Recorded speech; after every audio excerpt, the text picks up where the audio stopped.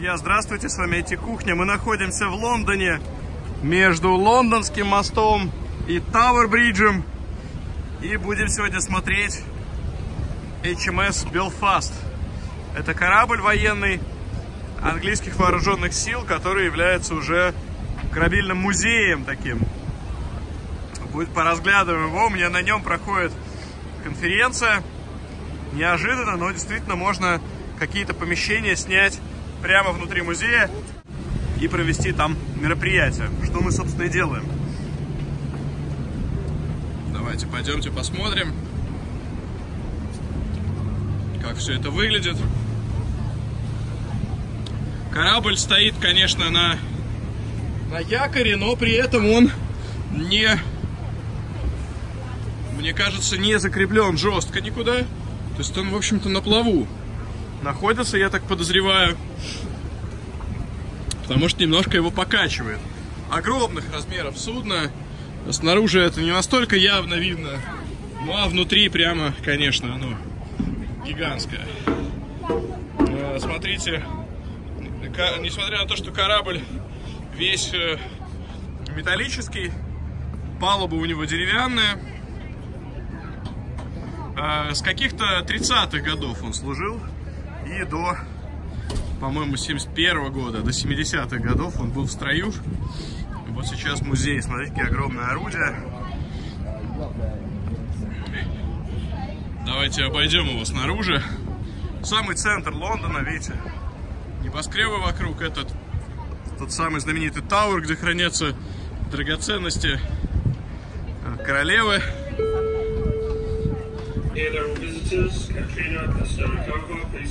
Ой, посмотрите, можно подняться даже здесь наверх. Давайте поднимемся наверх. Повыше.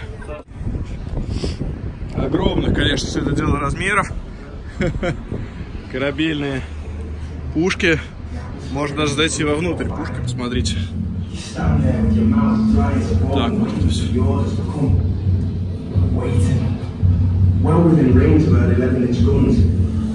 Очень круто.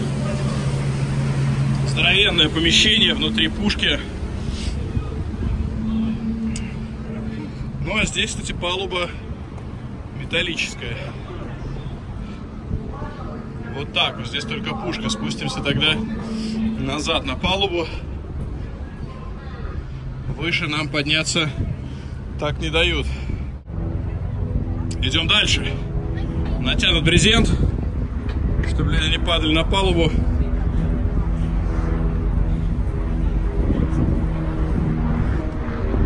Так, тут у нас все перекрыто. Здесь можно зайти вовнутрь, еще зайдем. Идем наверх. специальная такая дорожка, очень рифленая, чтобы с нее никто не соскальзывал.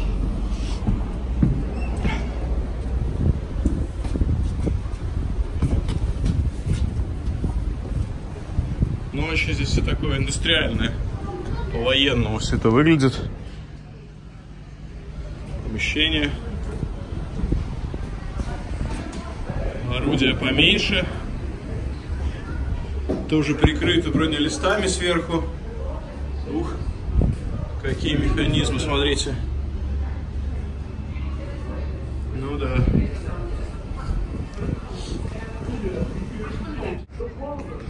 Катерочек такой небольшой. Написано Fast Motor Boat. Вот так вот у них выглядели быстрые лодки. Ну ладно, смотри, какая труба огромная. Радиорубка там явно и мостик капитанский впереди у нас. Смотрите, какой широченный корабль. Это при том, что мы не в самом широком месте мы находимся. Мы наверху. А, самая большая палуба у нас. А, нет, это она. Это самая большая палуба. Но все равно, смотрите, от борта до борта вот так это выглядит. впечатляет. И мы еще не дошли до носа корабля. Еще идем. Идем, идем.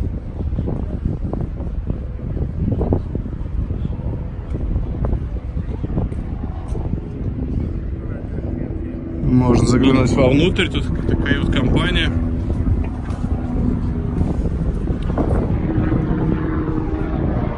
Вот головное орудие. А, и даже здесь можно, похоже, подняться наверх.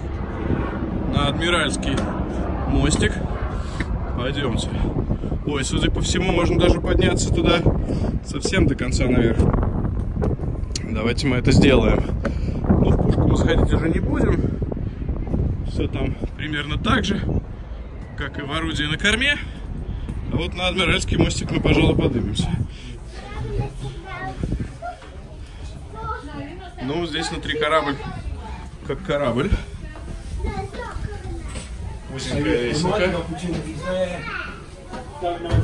Явно новое протянутое освещение.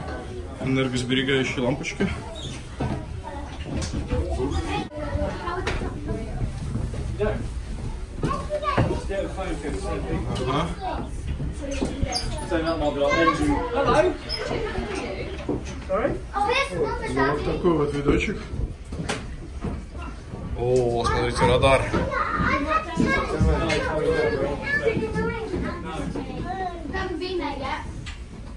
Да, интересно.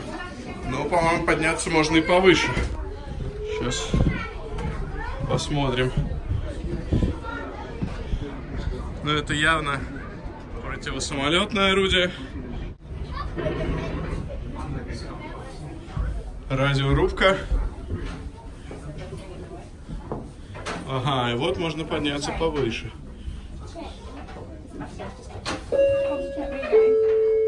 Как у них тут было? Кстати, в море еще всем этим заниматься. Когда качка. А матросики ничего, бегали. Ага, еще выше. Флаг-дек. А, палуба для поднятия флага. Называется место, куда мы поднялись. Прожектор. Ага. Вот так вот обойдем вокруг.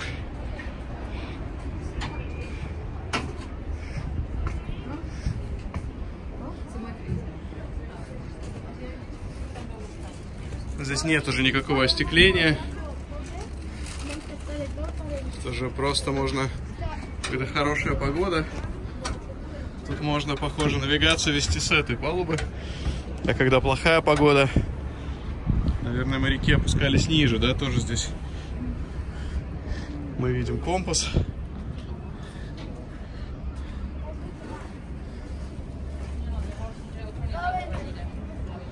Ну что, поднимемся в самую высокую точку корабля, куда нам разрешено проходить.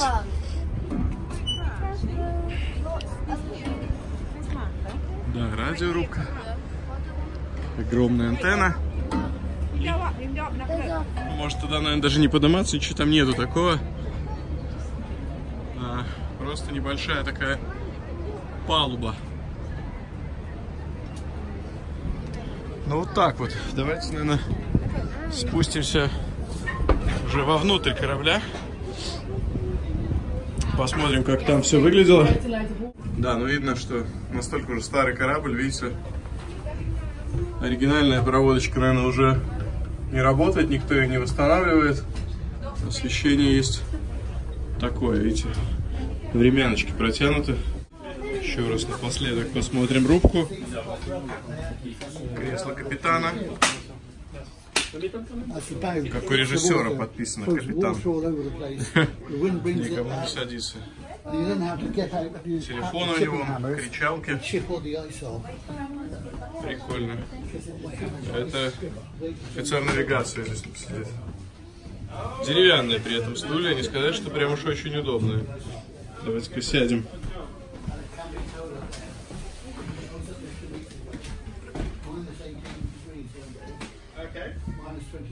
Но не, не, не кресло, как бы, не, не автомобильное кресло. Достаточно здесь жестко сидеть. Да, мы все равно находимся по-прежнему в рубке. Нам надо еще ниже спускаться.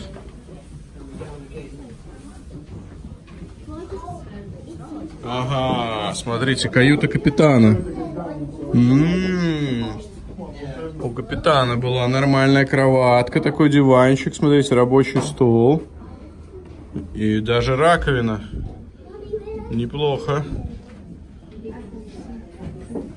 Капитаны у нас жили. Гораздо лучше, чем матросы. Увидите, как жили матросы.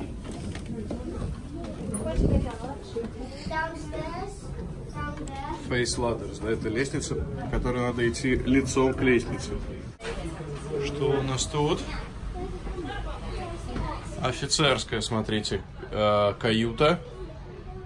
Э, Все очень, смотрите, тоже достойно. В принципе, э, сверху кровать, куча ящиков, ковер он даже есть. Нормально. Но это, вы понимаете, что старший командный состав. Самые лучшие здесь места матросы жили совсем не так. Спускаемся дальше вниз.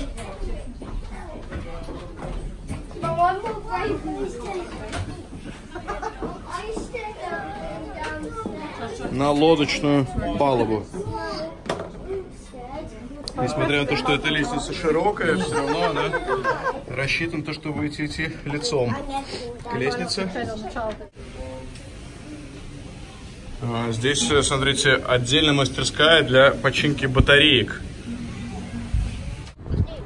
Давайте выйдем на самый нос, прогуляемся.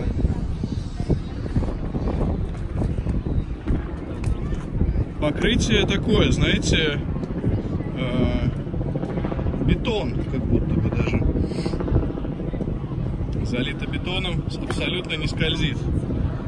А, ничего по ней, как наждачная бумага. Ну, оно и понятно, чтобы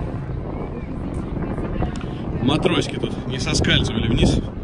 Смотри, каких размеров якорь у корабля. Гигантский. Ну и вот он самый, самый нос.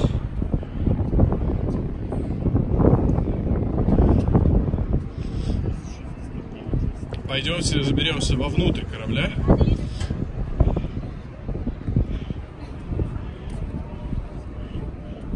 Посмотрим, как там. Да, все это время мы, в общем-то, прошли по палубе и шастали вот там, вон по рубке наверху. Зайдем вовнутрь корабля, посмотрим, как выглядела жизнь плюс-минус нормальных матросов, потому что там был, конечно, высший командный состав.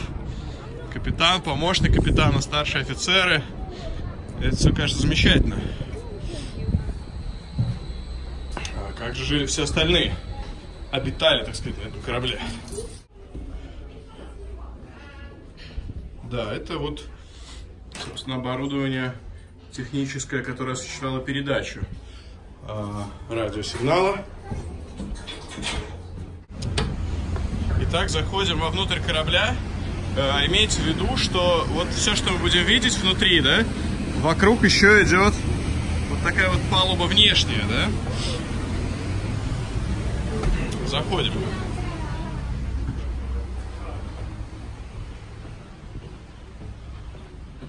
Так, здесь вот у нас все заканчивается внутреннее пространство. Идем вовнутрь. То есть это не самая большая палуба. Самая большая палуба должна быть на один уровень ниже. Так, тут мы откроем. Так, кстати, выглядит, ребят, у нас комната наша для мероприятия. Кают-компания. Ну вот, идемте. Просто идем по кораблю вперед, вовнутрь. Так, так, так. Хоп. Вот и смотрите. Идем, идем, идем. Идем, идем. Туалеты. Идем, идем, прачечная. Торпеда вот лежит. Вначале корабль был оборудован торпедными аппаратами, насколько я понимаю, потом их демонтировали, чтобы улучшить как-то качество жизни экипажа. Но тем не менее, большая дверь для загрузки, вероятно, всего. Посмотрите, Это мастерская, видите, такая по дереву здесь. А почта. На корабле была почта.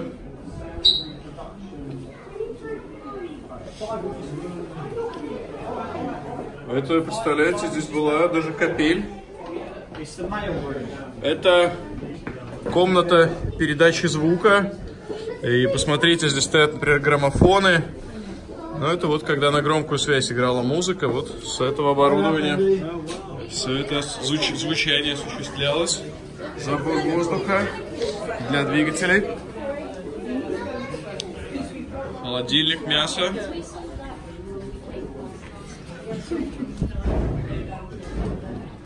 Это у нас кухня.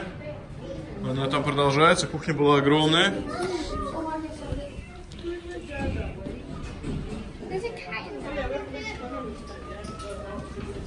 Здесь хранили картошку.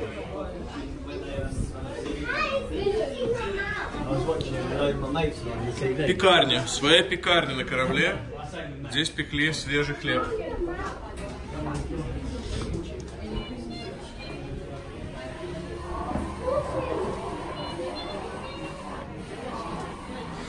Ну вот это тоже для офицеров э, такая спальня. Мы видим здесь приличные койки, вполне себе. Тоже не для обычных матросов это все дело. Идем дальше. Да, тоже продолжается кухня. Тут картошку они чистили. Смотрите, был зубной.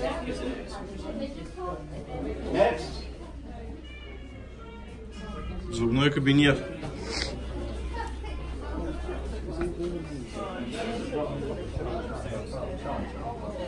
Это, смотрите, клиника. Прямо тут проводили операции. Там вон на койках, наверное, самых удобных на этом корабле лежали больные.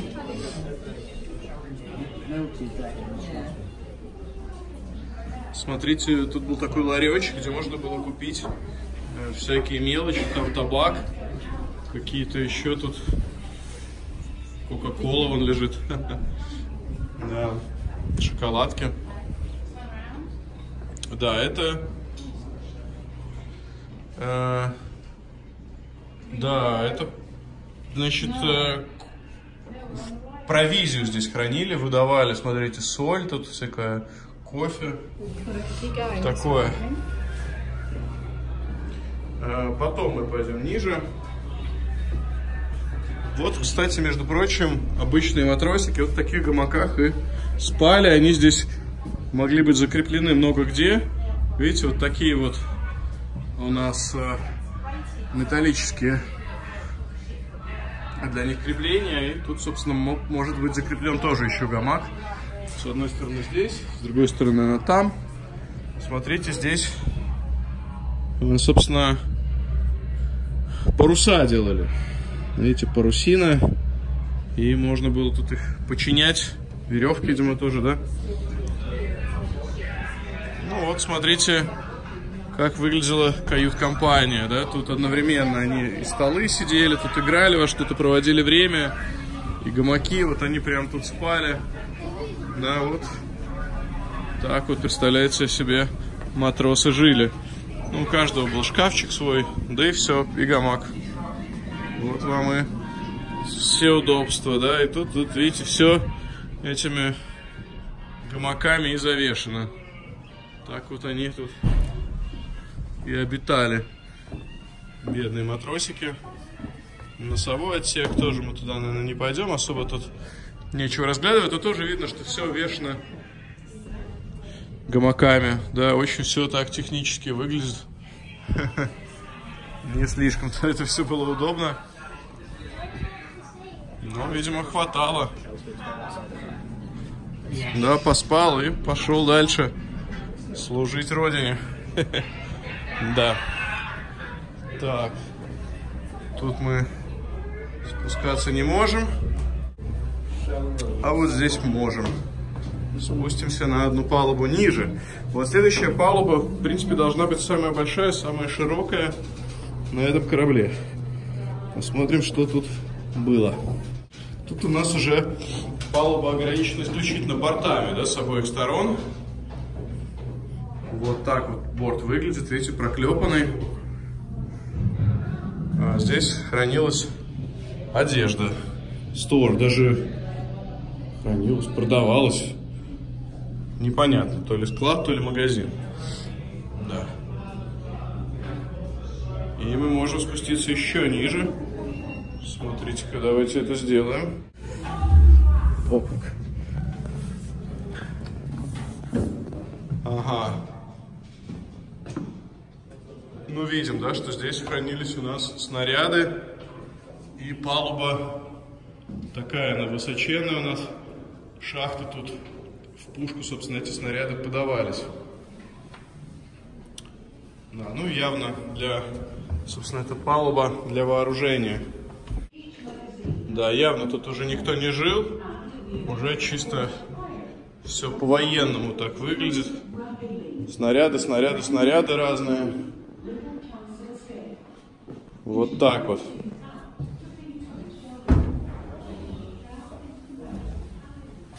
Тут вон стойки целые со снарядами. Ну да, видите, из этих стоек можно было заряды складывать э, вот в этот барабан, а дальше они вон подавались наверх, видите, заряжались по трубе, передавали, собственно, в само орудие. Вот, тоже видно, да, снаряд уже тут заряжен. Вообще видно, что довольно большая часть корабля закрыта для просмотра. Что там дальше внизу, непонятно. Вот, ребят, примерно так все это выглядит. Посмотрим, есть ли еще место, где я не побывал. Смотрим. Ага. А вот здесь, собственно, штурвал. Вот мы штурвала не видели, да? Отсюда, смотрите, вслепую, собственно, осуществлялось руление, да? То есть сверху подавались команды. И здесь управлялось э, судно ходами на э, направление. Вот так вот. Ну, штурвал такой, смотрите, вполне пиратский. Традиционный.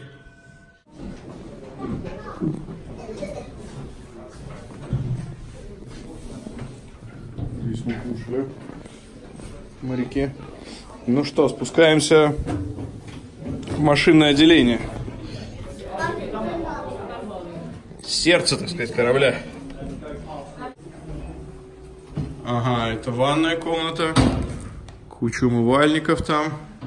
Души дальше. Ну и вот оно, машинное отделение. Приятно здесь такой запах, знаете, пахнет смазкой. Очень технический. Тут вот лазали матросики. Это с турбины.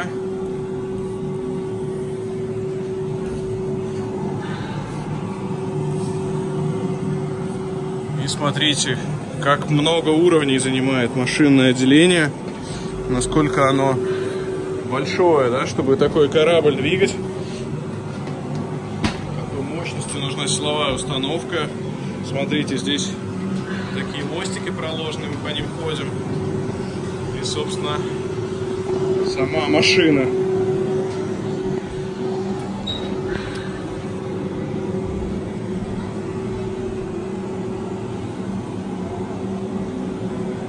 Это котел. Один котел.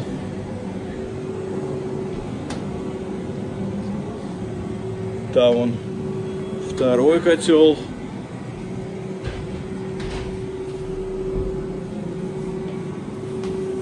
Да, впечатляет это все дело. Впечатляет.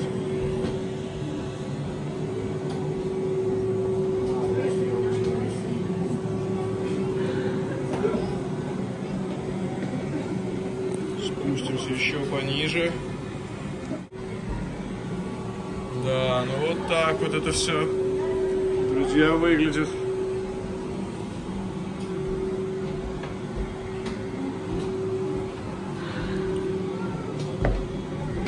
Ну и вот ниже. ниже уже, видимо, некуда, да, мы уже у самого днища корабля.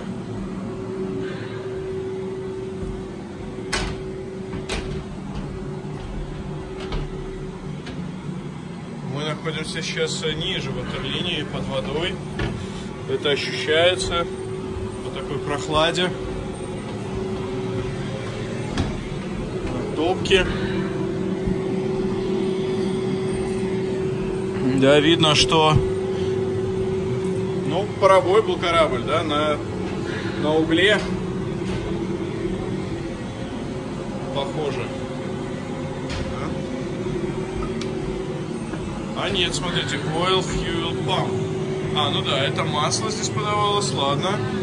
А топливо-то какое было? Ну, уголь я ожидаю, нет? И раз здесь такие топки. Или все-таки здесь сжигалось не, наверное, все-таки здесь что-то другое сжигалось, мазут какой-нибудь. Потому что э, ну, через такие отверстия не получилось бы никакой уголь загружать. Да, видно там тепловые трубки. Хотя бог его знает, слушайте, может как-то они по-другому его загружали. Ну вот это видно, что это огромная такая камера сгорания, там тепловые трубки. И, собственно, вода кипела. Паровой был корабль. И здесь, собственно, мы по-настоящему уже управляли ходом, да, тут видно, что нам показывали сверху, да, и мы могли как бы уже, человек непосредственно управлял, да, вероятно, вот этой вот рукояткой, насколько быстро мы плывем.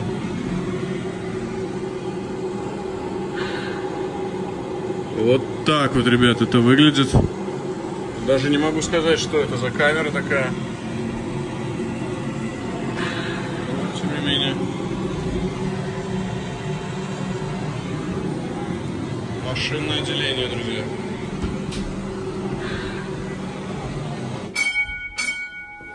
Hello, my name is Andy Curran and I'm the Conservation Manager for HMS Belfast. I used to serve in ship's boiler rooms and I can assure you they're really noisy places. In a few seconds, you're going to get a quick taste of just how noisy it could be in here, though it still won't be as nearly as loud as it actually would have been. Сейчас нам сымитируют шум корабля на полном ходу. Не так страшно. Так-то. Нам сказали, судно было законсервировано. Это что значит? Что его можно теоретически расконсервировать? Ну вот так вот тоже огромная здесь техническая комната. Вообще выглядит как мастерская. Вот тут какая-то дрель и так далее. Наверное, здесь чинили компоненты двигателя, скорее всего. И неудобно. Ну вот такой вот, знаете, piece of technology, так сказать. О как. Здесь обслуживание. Э, панель. Вероятно, отмечали, что нужно было там время от времени менять, как-то так. Смотрите, медные трубки как блестят. Хотя вообще они покрашены были изначально. Да, это, смотрите, выпариватели. Вероятно, так производилось здесь испарители. Так здесь производились из морской воды. Э, производилась э, не соленая вода при помощи этих устройств. И здесь вот двигатель я вижу. Собственно, steam by the steam from the boilers. Imagine the high-pressure and low-pressure turbines, which worked in series to develop full power ahead, a small cruising turbine for more economical speeds, and an astern turbine for manoeuvring the ship in reverse, mounted at the front of the low-pressure unit. Steam from the boilers could be directed to the desired combination of turbines, by means of лицензии control Парсонов throttles, произведен. rotating the blades, which in turn drove the propeller shafts through the gearbox mechanism attached to each engine. Вот нам рассказано, смотрите, как, собственно, вся эта штука Once the технически steam had работала. passed through the turbines, It was cooled and allowed to collect as water in a large vacuum tank located beneath the engine, known as the condenser, before being recycled back into the boilers to make more steam. Собственно, да, нагревался пар, подавался в power. Да, вот круизинг турбин. Да. Смотрите, какие. Какая зубчатая массивная передача, да?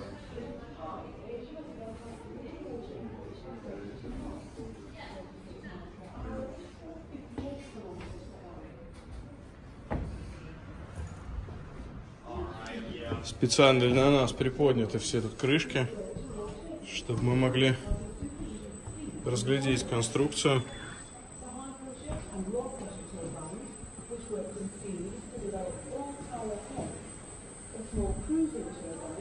Разные тут были турбины, я так понимаю, для, э,